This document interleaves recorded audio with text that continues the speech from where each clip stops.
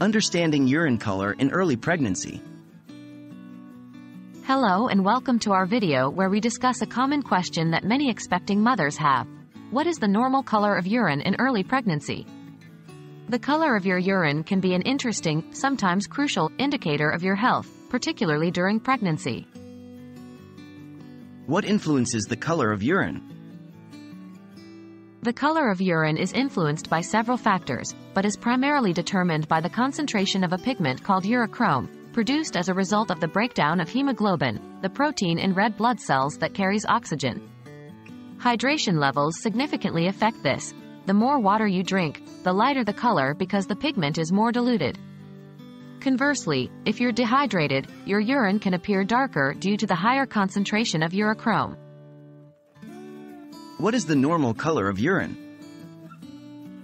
Under normal circumstances, urine can range in color from a very light, pale yellow, almost clear, to a darker amber color.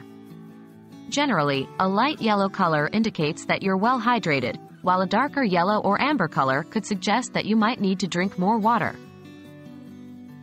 Does pregnancy change urine color? During early pregnancy, it's common for urine color to become a somewhat darker shade of yellow.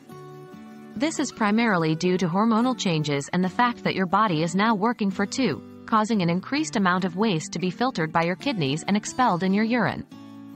In addition, the production of certain hormones, particularly human chorionic gonadotropin, HCG, can darken the urine. While it's not unusual for urine to be darker during pregnancy, it's important to remember that hydration is key. Even in pregnancy, dark yellow or amber-colored urine could indicate dehydration, which is crucial to avoid for both the mother and baby's health. When should I be concerned? While a slight change in urine color is generally normal during pregnancy, drastic changes or the presence of other symptoms can indicate potential issues. If your urine becomes dark brown or cloudy, or if you notice blood in your urine, it's essential to seek medical advice as these could be signs of a urinary tract infection, kidney disease, or other health issues. So, the normal color of urine in early pregnancy is generally a light to dark yellow. Remember, while a slight change in urine color can be normal due to hormonal changes, staying hydrated is key, and significant changes or accompanying symptoms should be checked by a healthcare professional.